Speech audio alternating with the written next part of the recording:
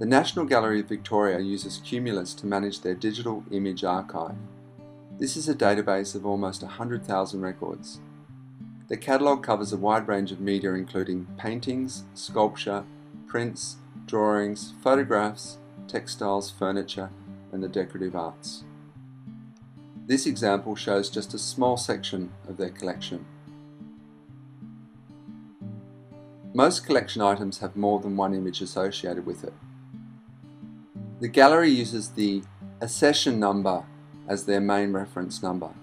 Let's do a search on accession number D88-169.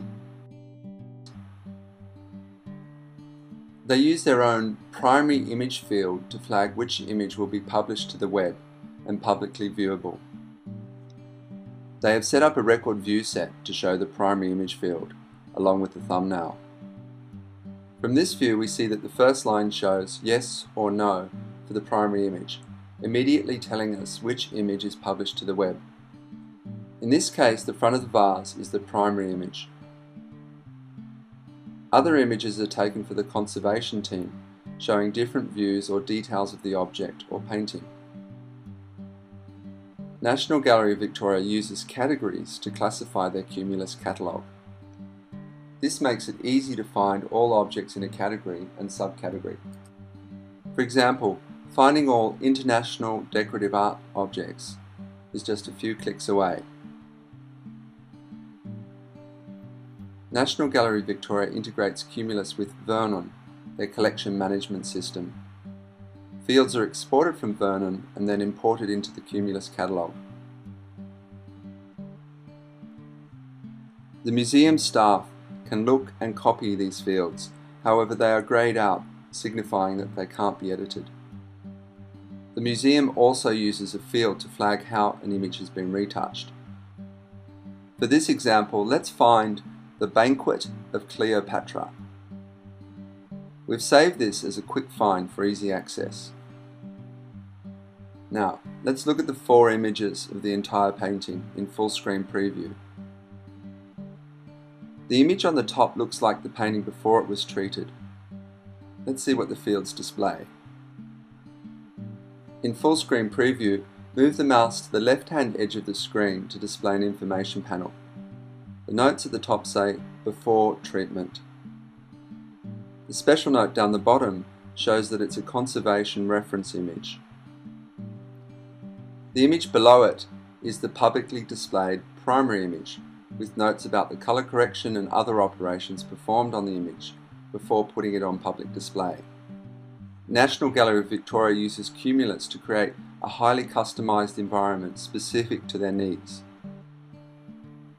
The gallery can manage copyright data, manage publications and associated material, including derivative files, plus manage user access based on the user's needs.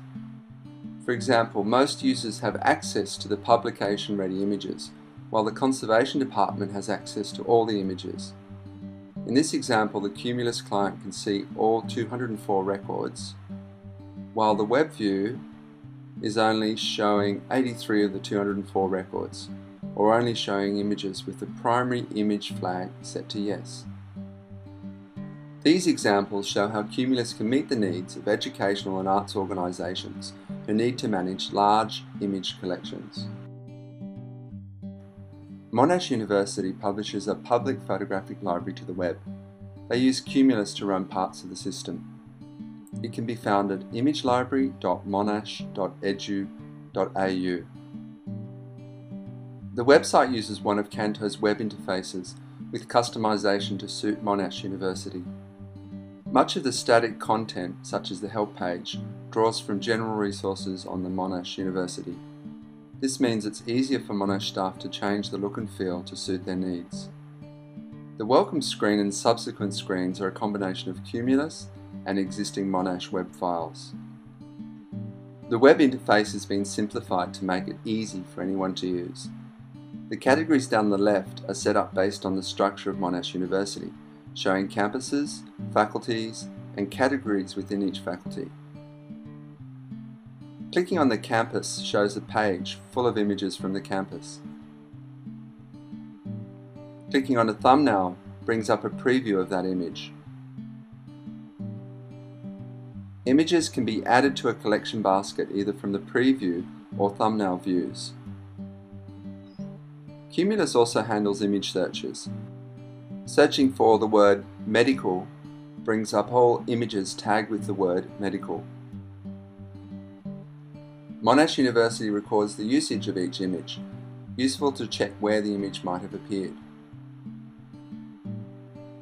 When ordering images from the collection basket, file size and usage for each image can be specified.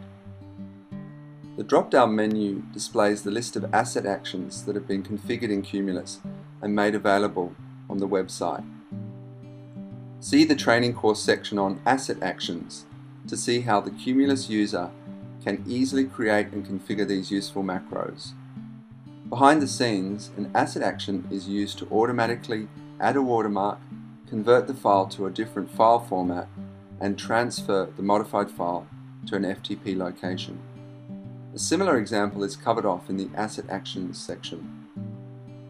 When ordering, a digital request form is sent to Monash for processing and completion of the order. This request uses a Cumulus add-on called Email Order System Pro